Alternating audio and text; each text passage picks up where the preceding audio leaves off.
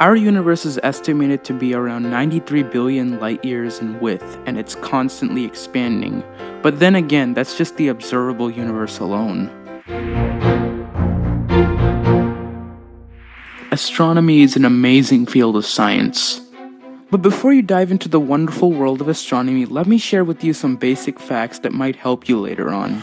Let's start off with the term light year, which is a very commonly used astronomical term. But what exactly does it mean?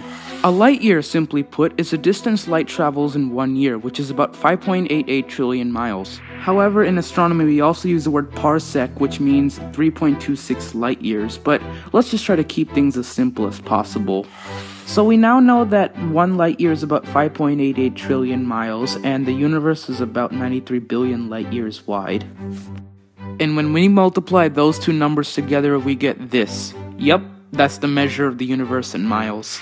Anyway, our universe is governed by four forces gravity, which pulls and holds everything together, the electromagnetic force, which we perceive in the form of light, the strong force which is responsible for holding together the atomic nuclei, and finally the weak force which is responsible for radioactive decay. But forget about the four forces, let's start exploring the universe from our own solar system, which by the way is composed of 8 planets, not 9. Sorry Pluto.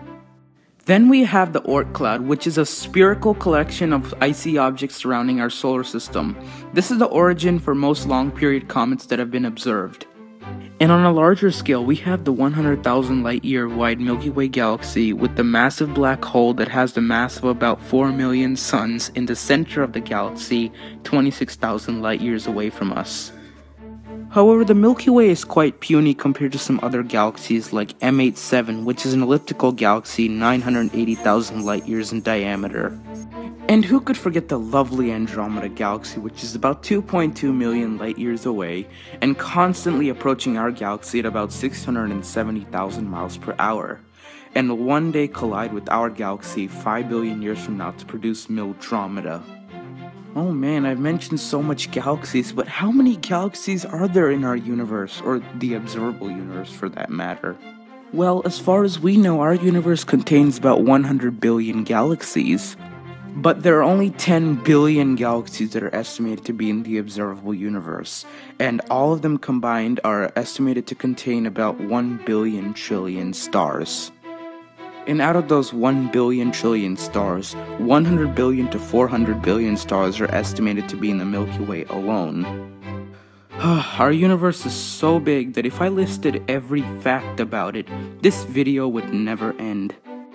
But like I said, there are trillions of stars out there and there are billions of galaxies out there. So if you want to keep on adventuring in astronomy, your adventure will never end.